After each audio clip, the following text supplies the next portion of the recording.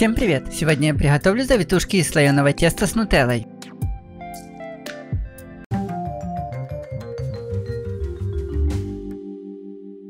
Первым делом слоеное тесто раскатываем в тонкий пласт.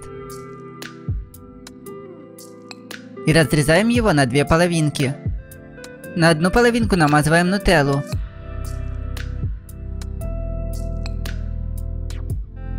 Накрываем ее второй половинкой теста и разрезаем на небольшие полосочки. Полосочки сворачиваем.